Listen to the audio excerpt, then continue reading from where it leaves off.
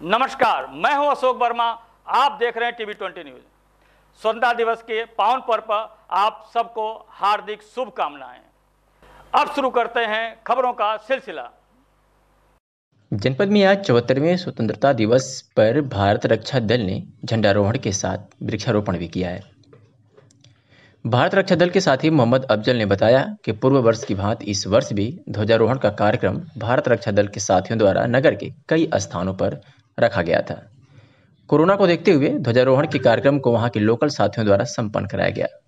भारत रक्षा दल नगर अध्यक्ष मनीष कृष्ण ने चौहत्तरवें स्वतंत्रता दिवस की सभी को बधाई दिया और आपसी भाईचारा एवं सौहार्द बनाए रखने की अपील की। भारत रक्षा दल के जिलाध्यक्ष उमेश सिंह ने कहा कि आज जिनकी वजह से हम सभी खुले वातावरण में जी रहे हैं, उन शहीदों के बलिदान का परिणाम है। आज उन शहीदों के नाम पर एक दिया अपने घरों पर ज़रूर जलाएँ और इस स्वतंत्रता दिवस को रोशनी पर्व के रूप में मनाएँ। परिचय देते हुए आज स्वतंत्रता दिवस पे आप लोगों ने क्या किया? आज स्वतंत्रता मैं मोहम्मद अफजल भारत रक्षा दल कोर कमेटी का सदस्य हूँ मैं। आज चौहत्तरवें स्वतंत्रता दिवस पे पावन पर्व पे हर नगर वासियों को मैं शुभकामनाएँ देता हूँ। आज झंडारोहण का कार्यक्रम कटरा कार्यालय पांडे बाज़ार सिविल लाइन और उसके बाद पौधारोपण हम लोगों ने किया अभी कलेक्ट्रेट के सामने। पौधारोपण किया और लोगों जन्मदिन पे बधाइयाँ भी दियाँ। स्वतंत्रता दिवस, ढेर सारी शुभकामनाएँ।